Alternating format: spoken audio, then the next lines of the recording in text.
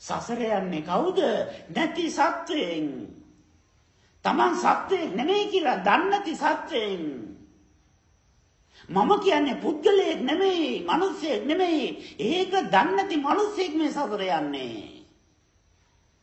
මේ ලෝකේ කවුරුත් අපට බනින්නේ කවුරුත් අපට ප්‍රශංසා කරන්නේ හැබැයි දැන් අය ප්‍රශංසා කළ අය සතුටුය දුකය කියලා ඒකට නිකන් කියාගෙන ඒක වත්කමක් කරගෙන ඇලි ඇලි ගැටි ගැටි දුක් විඳ විඳ ඉපද ඉපද යනවා.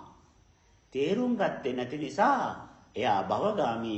තේරුම් ගත්තොත් එයා අනාගාමි. මේක තේරුම් ගන්නයි ඕනේ. ලෝභය තේරුම් ගන්නයි ඕනේ. ද්වේෂය තේරුම් ගන්නයි ඕනේ. මෝහය තේරුම් ගන්නයි ඕනේ. තේරුම් ගත්තොත් නිවැරදි කරන්න පුළුවන්. දන්නේ නැති එකක් හදන්නේ කොහමද? දැනගන්නයි ඕනේ.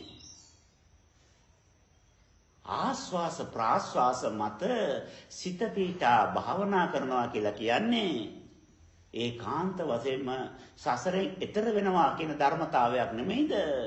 අපි මොනවද දන්නේ? අපි මොනවද තේරුම් ගත්තේ මේ අපේ නාය ඇතුළට යන උස්ම ටික ගැන? අපි මොකවත් දන්නේ මේ උස්ම ටිකවත් අපට තේරුම් ගන්න බැරි නම් මේ විශ්වය ගැන අපි මොනවද කතා කරන්නේ? අපි මිනිස්සු තේරුම් ගන්න උත්සාහ කරනවා. මේ නාය ඇතුළට යන උස්ම කියන්නේ මොකද්ද කියන එකත් අපි තේරුම් ගන්න උත්සාහ කළේ නෑ. අපි එතන තමයි ඉන්නේ. දුර්වල තැනක ඉන්නේ. එහෙනම් අද ඉඳලා ඒ තාපසයා ගස් යට ඉඳලා අට සමාපත්තිය වෙනකම්ම ඒක මාස දෙකෙන් තුනෙන් වඩලා අවබෝධ කළා නම් අපිට එයාවත් කරේ තියාගෙන යන්න පුළුවන් වෙන්න පාය මේ ගමන. තාපසයාගේ ඇඟ ඉරිවැටෙන්න අපට කරුණු කාරණා විස්තර කරන්න පුළුවන් වෙන්න පාය. බණකට වඩින්න කියලා වටාත දුන්නාම වටාත දෙන්නෙම ඇඟිලි වෙවුලනවට අත වෙවුලනවට මේක තදින් අල්ලගෙන ඉන්නයි කියලා. හතපය ඒට මෙට දඟලනවට විසිරෙනවට තමයි වටාත දුන්නේ. දැන් වටාහත වේවුලන එකෙන් තමයි මිනිස්සු දැනගන්නේ. පුදුම වැඩේ වුණත් ධර්මාස ඉඳගත් වෙලේ ඉඳලා මුළු හැඟම වයිබ්‍රේෂන් වෙනවානේ. ඇයි උච්චර බය?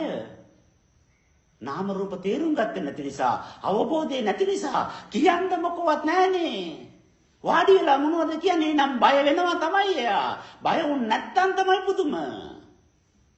අර පුංචි තාපසයා අවුරුදු 5යි 6යි එයාව උස්සලා පුටුවෙන් තිබ්බාම වාඩි වෙලා ඉන්න මිනිසුන්ට ආලහාලා බැරි ගෑයිලා බිම වැටිලා සවන් දෙනවලු. ඒ තරම් කරුණු කියනවා. ඇයි? කියන්න දේවල් අවබෝධ වෙලානේ. එළිය වැටෙනකම් කියන්න පුළුවන් සති ගණන් කියන්න පුළුවන්. ඒ තරම් නාම රූප ගැන දුක ගැන යට අවබෝධ වෙලානේ එයා බය නැහැ කියන්න. අපි අය යංගෙන්නේ ඇයි අපි පසුබට වෙන්නේ? ඇයි ප්‍රමාද වෙන්නේ? මොකවත් නැහැනේ ඔළුවේ. බලන්න අපේ ඉන්න තැන අපේ අවබෝධය අපේ ප්‍රඥාව අපේ පාරමිතාව කොච්චර දුරලලාද මේවා නිවැරදි කරගන්න අවශ්‍යයි. පිරිනිවන් පාන තාපසයා මේවා නිවැරදි කරගත්තේ නැත්නම් ඒකාන්ත වශයෙන්ම එයාගේ පිරිනිවන් පෑම පිළිබඳව අපිටත් ගැටලු මතුවෙනවා. ආස්වාස ප්‍රාස්වාස මත සිත පීඩන්න ආනාපාන සතිය අපේ පිරිනිවන් පෑමක් වශයෙන් දකින්න පුද්ගල සත්ත්ව ස්වභාවය නිරෝධ කරන්න අණුවල ගනුදෙනුවක් මේ ලෝකෙ හැමතැනම තියෙන්නේ. අණුවල නිර්මාණයක් මේ හැමතැනම තියෙන්නේ. මේම දේවල් නෑ. අණු ඒකරාශි වෙච්ච නිසා අණු දෙක අතර ඉඩස අඩු වෙච්ච නිසා ඒවා වස්තු වශයෙන් ආලෝක වශයෙන් ගන්ධ වශයෙන් රස වශයෙන් ස්පර්ශ වශයෙන් රූප වශයෙන් පේනවා මේ ඔක්කොම මායාවල්. අපි කියන්නේ ඡායාව කියලා එවනල්ල කියලා මේ ඔක්කොම එවනල්ලන් අනු ටික වෙන් වුණාද? මේකක් නෑ එතන. එකතුනාද තවත් දේවල් හැදෙන්න පුළුවන්. එහෙනම් මේ ආනාපාන සතිය තුලින් ඒ අවබෝධය තුළින් අපට මුළු විශ්වයේම තියෙන සියලුම බැඳීම් ටිකෙන් කෙලෙස් ටිකෙන් බලාපොරොත්තු ටිකෙන් නිදහස් වෙන්න බැරිද? පුළුවන්. මොකෝ බැරි අඟුලිමාලට ඒක කරන්න පුළුවන් නම් මම කුරා කුඹියෙක්වත් මරලා නැහැ මට කරන්න බැරි මා දවන්ත සිටුවරුන්ට ඒ හැමදේම අත්තරලා ඒක වඩන්න පුළුවන් නම් ඉපදීම එක්කම මගේ මොකවත් තිබුණේ නෑනේ. ඇයි මට බැරි? ගොවිතැන් කර කර ඉඳලා බණ ටිකක් කාලා සෝවන් වෙන්න පුළුවන්ලු 84000ක් අතට දුන්නලු ඒත් මොකවත් බැරිලු. දැන් මට මං ගැනම ලැජ්ජාවක් දැනෙන්නේ නැද්ද? මට මාවම කලකිරෙන්නේ නැද්ද? මට මේ නාම රූප පිළිබඳව නෙමෙයි දුක තියෙන්නේ. විශ්වයේ මේ ගනුදෙනුව පිළිබඳව නෙමෙයි දුක තියෙන්නේ. මං ගැන මට දුකයි. ඒ දුක සේරම දුකට වඩා ලොකුයි. ඇයි මම මෙච්චර දුර්වල? ඇයි මොකවත් වඩා ගත්තේ නැත්තේ? ඒ වඩා ගන්න දක්ෂකම ඇයි මට නැත්තේ? එහෙනම් මං ගැන මට තියෙන දුක තමයි මේ ලෝකයේ තියෙන ලොකුම දුක.